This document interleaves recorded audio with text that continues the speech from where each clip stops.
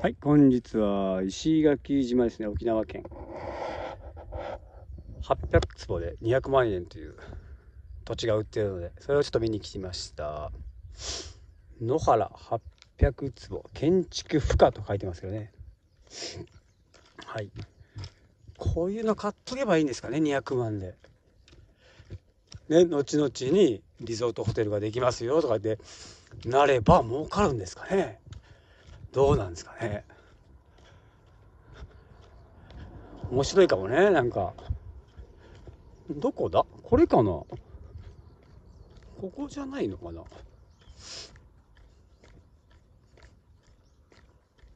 野原だもんこれ多分サトウキビ畑だもんね。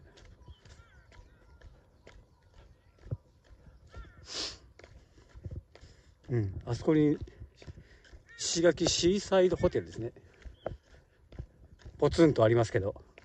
ああいうのがねできればねいいけど。まあ海には近くないもんね。ちょっと離れてるもんね。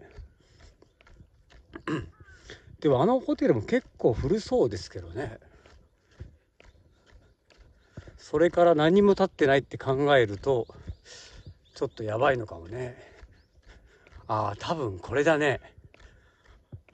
これで多分800坪だと思うよ。ここしかないもんね。はい。これだね多分。前は畑だったみたい。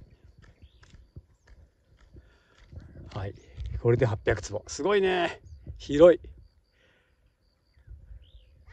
農地ですねでもね、うん、でも200万よこれが。すごいね。